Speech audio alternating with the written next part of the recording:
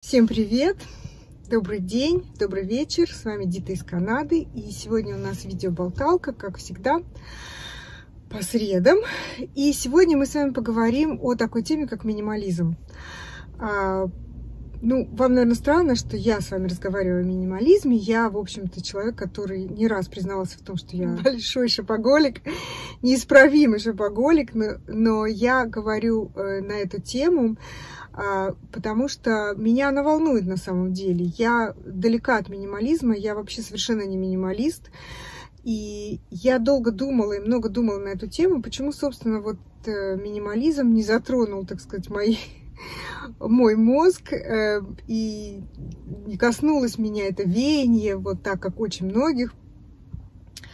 И э, я искала ответы на эти вопросы, потому что я не могу сказать, что я горжусь тем, что я не минималист, а, нечем тут гордиться. Понятно, что это не, не предмет для гордости, а, но это факт. То, что есть, то есть. И я э, долго думала об этом и долго думала, почему, собственно говоря, э, почему, собственно говоря. И плюс ко всему, знаете, вот я заметила, что многие-многие а, люди моего поколения, и вот люди, которых я знаю, мои ровесники, э, они тоже как-то, в общем-то, далеки от темы минимализма.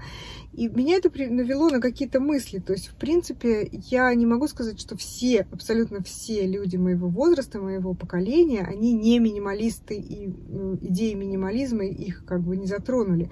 Есть очень много, есть среди них много людей, которые, да, следуют этим идеям и соблюдают, и пытаются стать минималистами, пытаются свести свое, свое, так сказать, потребительство к минимуму. Но, если честно, я таких людей знаю мало.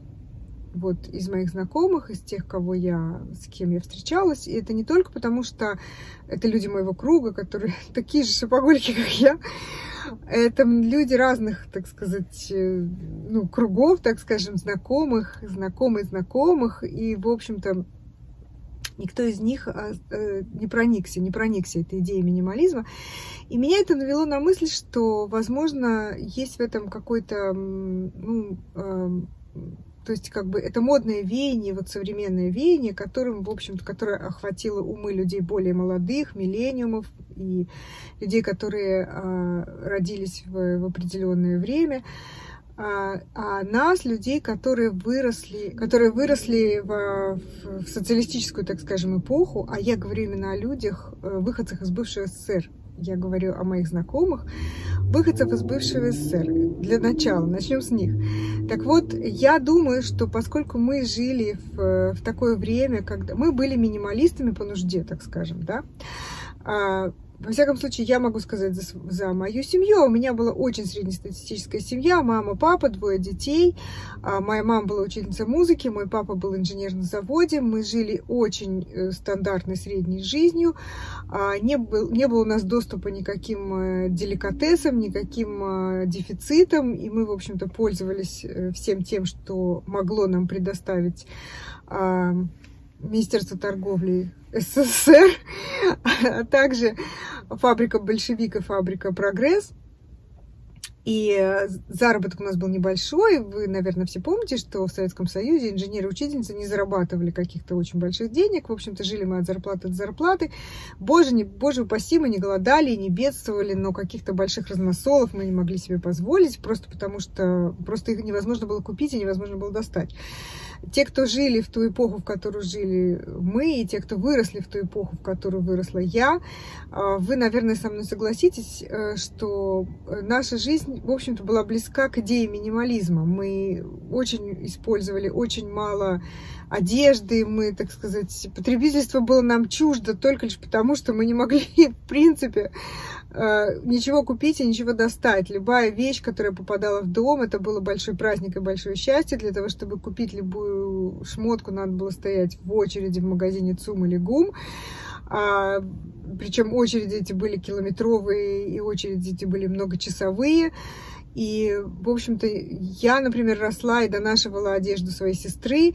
Э, всегда, причем всегда. И, допустим, если у меня было осеннее демисезонное пальто, то оно было одно, и носила я его много-много лет. И если у нас было одно нарядное платье, то оно было у нас одно на двоих сестрой, потому что мы, в принципе, у нас небольшая разница, и мы, когда подросли, обе, так сказать, она стала девушкой, я стала подростком, мы примерно имели один размер, и у нас было одно нарядное платье на двоих, которое мы периодически носили, в зависимости от того, кому оно было нужнее в эту, в эту самую данную минуту. Ну что это, как не минимализм?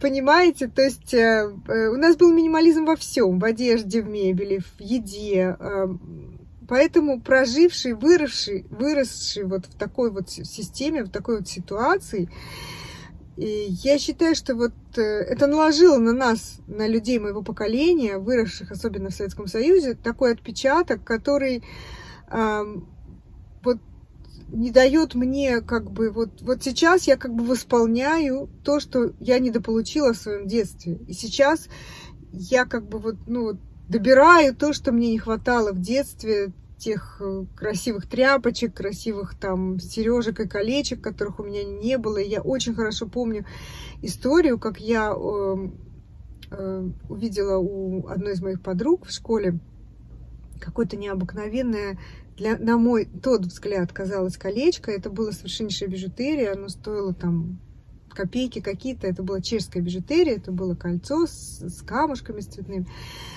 А, ей его привез ее отец из, э, из какой-то командировки, может быть, в Германии или в Чехословакию, я не помню точно. И оно поразило мое воображение. Это кольцо, оно стало чем-то, что, ну, в общем, это была вообще моя мечта. Я не понимала, что я никогда в жизни, вот так вот я думала, у меня никогда в жизни не будет такого кольца. Э, и мне было, ну, лет 10, наверное, 12, может, не помню точно. Но, во всяком случае. И вот знаете что? Мне кажется, что вот эта вот ситуация, вот эта вот история, превратила меня в сороку, которая клюет на все цветные камушки и покупает и хватает все, что вообще видит глаз, и все, что, все, что хочется, потому что вот это, так сказать, детская травма, ну, травма в кавычках, понимаете, вы понимаете, что я имею в виду, наложила некий отпечаток на, на наше сознание, что вот люди, выросшие в, в бывшем СССР при, при таком тотальном дефиците, для них очень тяжело воспринять принять идею минимализма. В принципе, для наших, у наших детей, видимо, ситуация уже совсем другая. А, они выросли в достатке, они получали все, что они хотели, у них всегда было все, что они хотели, и поэтому для них, видимо, эта вот идея минимализма, более они ее воспринимают более как бы с распростертыми объятиями, так скажем, чем, чем люди нашего поколения. Я, кстати, в одном, под одном из видео, не помню какого блогера, на эту тему, вот написала свои мысли вот эти вот и схлестнулась с удивлением с одним из комментаторов тоже, значит, который а, написал мне, что «А чего вам не хватало в Советском Союзе, что у вас, что вам не хватало, мы, у нас все было, вы понимаете? И для меня это было таким, а, таким удивлением и таким сюрпризом, что я как бы, а, что есть люди, которые э, считали, считают вот сейчас, что тогда, когда мы жили в наши, это были 70-е, начало 80-х годов, что у нас все было и чего вам не хватало. Вот я удивляюсь, насколько у людей или короткая память, или они выдают желаемое за действительное, или я не знаю, я не могу это объяснить, или это просто был какой-то троллинг, или это просто был какой-то стёб. Потому что как в здравом уме и в твердой памяти человек может утверждать, что когда мы жили в Советском Союзе, в социалистическое время, у нас было все, что нам хотелось, и чего а, чего же вам не хватало? Я написала ему, послушайте, возможно, ваш папа был э, председателем обкома или там завбазы, или а, что-то такое, или какой-то был большой, большой партийный или комсомольский чиновник, вот этим людям действительно всего хватало, и, и у них не было никаких проблем в жизни никогда, э, в их детстве в то время. Но он мне написал, нет, нет, у меня папа был там простой рабочий, мама тоже. И я тогда, в общем-то, ну, знаете, для меня это было просто, ну, я не понимала вообще, что, что, что происходит и о чем этот человек говорит. Вот я привела это просто как пример, просто вспомнилось мне вот в этом разговоре о том, что о том, что есть люди, которые до сих пор или снова, или опять считают, что, в общем-то, наша жизнь в те годы была прекрасная, а, полна всего чего угодно, мы не испытывали недостатка ни в чем. Я не говорю, что она была ужасна, наша жизнь. Она была прекрасна только потому, что мы были детьми. И любой человек, э, детство его прекрасно, потому что жив, были живы родители, и э, не было у нас проблем и забот больших, и, в общем-то, мы ходили в школу, у нас были друзья, мы тусились, веселились. Любой человек в детстве и в молодости, в любой стране, в любой ситуации, а, в любом, в любом, так сказать, государстве, его воспоминания детства его прекрасны. И наши воспоминания детства прекрасны. Но утверждать, что мы жили в полном достатке, что у нас было всего до кучи, чего и валом, и чего только хотите, это надо просто, или, или просто у вас отшибла память, или... Вот. Поэтому, если кто-то хочет со мной поспорить на эту тему, то, в принципе, вы можете, конечно, поспорить, но я не знаю, если честно, мне кажется, что это совершенно абсурд утверждать на белое-черное, на черное-белое. Так вот, а, я хочу сказать, что вот мое глубочайшее мнение, что я, как пример, и многие люди, вот подобные мне, они э, испытывают вот синдром вот это вот, знаете, все наши, все наши проблемы идут с детства. И синдром вот этого вот недостатка, дефицита и нехватки того и сего. И вот сейчас, когда они выросли, и есть средства, и есть возможности, мы, так сказать, отрываемся по полной, что называется. Я не могу сказать, что я э, не, не понимаю эту идею минимализма. Я понимаю, я понимаю, что это, что это важно, что это, возможно, какое-то веяние такое, которое эм, нужно как-то воспринять и попытаться, попытаться э, ввести в обиход моей жизни. Эм, я не могу сказать, что я думаю, что я смогу это сделать. Я, вернее, могу сказать, что, скорее всего, минималистом я уже не стану никогда. Даже зная, что это, в принципе, хорошая идея, и даже понимая, что захламляя свой дом одеждой и разными другими вещами, мы не делаем ни хорошо никому, ни себе, ни этой планете, ни, ни будущим нашим поколениям, ни нашим детям, абсолютно никому мы не делаем хорошо. Но вот я точно совершенно знаю, что я никогда не буду минималистом, хотя никогда не говори никогда, знаете, да, э, Возможно, будут мои дети более подвержены этой идее, возможно, э, мои внуки, но, но со мной это точно уже я не приживусь к ней никогда. А что касается людей, вот, эм, допустим, в Канаде, людей, которые прожили, их детство прошло не, не в таком дефиците, как у нас, например, а жили они в достаточно более или менее достатке. А, и как бы по идее, идея минимализма должна их больше э, ну, охватить, так скажем, да, чем нас, потому что вот у них ну, никаких нету причин сейчас отрываться за свое несчастное, в кавычках, детство. А, я тоже, знаете, разговаривала с некоторыми людьми, местными канадцами, которые, в общем-то, где-то моего возраста, и для них, э, вот как ни странно, для них э, это тоже тема не является уж очень близкой. А, потому что я вам хочу сказать, что 70-е, э, 80-е годы в любой стране Запада, и в Канаде, и в Штатах, и в Европе, это тоже не было такое изобилие и такое а, достаточно всего завалить, как сейчас, понимаете? Они тоже, они не жили, не жили так, как мы жили в Советском Союзе, но они тоже не жили в каком-то в каком-то таком невероятном достатке, таком, как сейчас живут, например, наши дети. Э, их детство тоже прошло, в общем-то, в достаточно таких, э, ну, не спартанских, но условиях жизни очень отличались от условий жизни сегодняшних детей, и не было здесь такого изобилия, и не было здесь того, то, то, чего есть сейчас везде, в любой стране мира.